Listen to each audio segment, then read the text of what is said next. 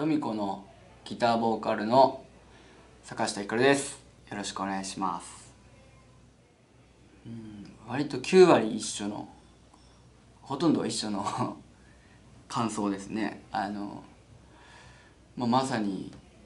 ロックバンドの版を作ったっていう、まあ、仕上がりというか達成感はありますね。今回は本当に100%こうスタジオで作った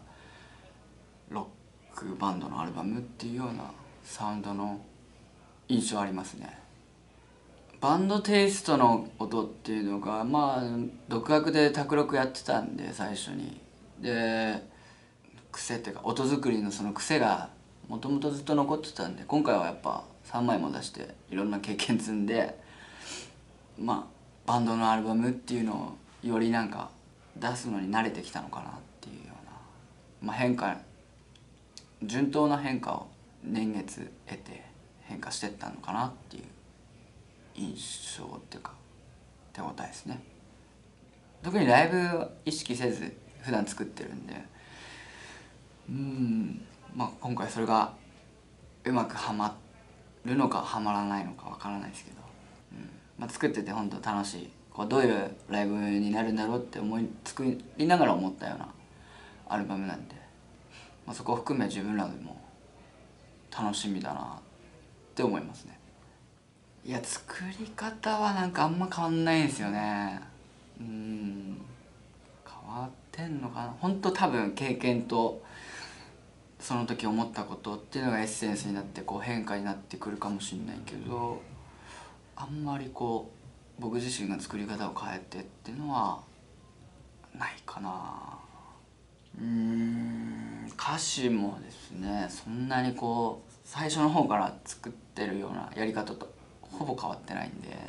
うん、ただで出てくる言葉とか並びとかっていうのはやっぱさっき言ったように経験とか日々の